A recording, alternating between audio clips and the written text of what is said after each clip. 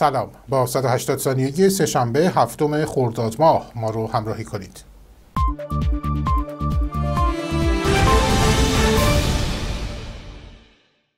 سرپرست دادسرای امور جنایی تهران از قتل میترا استاد همسر دوم محمد علی نجفی شهردار سابق تهران خبر داد. بر اساس اطلاعات موجود او در خانه مسکونی خود در منطقه سعادت آباد و بر اثر اصابت گلوله به قتل رسیده است. در این حال خبرنگاران روزنامه اصلاح طلب انصاف نیوز از تماس تلفنی قبلی میترا استاد با این روزنامه خبر دادند و نوشتند که او قصد داشته امروز با انصاف نیوز مصاحبه کند.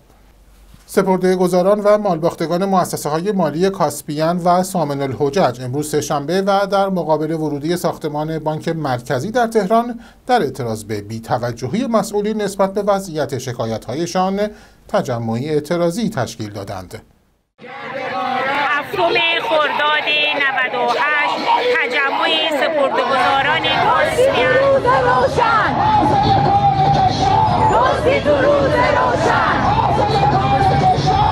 دوستی تو روز روشن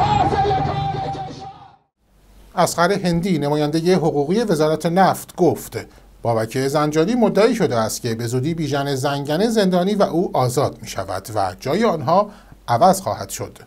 سردار سلیمان ملکزاده جانشین معاون حقوقی و امور مجلس نیروی انتظامی اعلام کرد زنانی که بدون حجاب در معابر و انظار عمومی ظاهر شوند به حبس از ده روز تا دو ماه و یا از پنجاه هزار تا 500 هزار ریال جزای نقدی محکوم خواهند شد.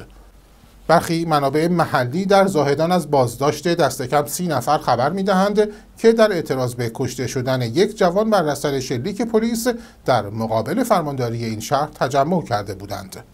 آنگلا مرکل صدر اعظم آلمان یک روز پس از انتخابات پارلمانی اتحادیه اروپا در مصاحبه اختصاصی با کریستیان امانپور مجری شبکه CNN گفت نیروهای تاریکی در حال سایه گستردن بر جامعه در آلمان و برخی دیگر از مناطق جهان هستند و باید با این نیروها مقابله کرد. در انتخابات تازه پارلمان اتحادیه اروپا در کنار رشد سبزها و لیبرالها احزاب دست راستی و ضد مهاجرت خارجی ها نیز از حمایت بیشتر رأی دهندگان برخوردار شدهاند.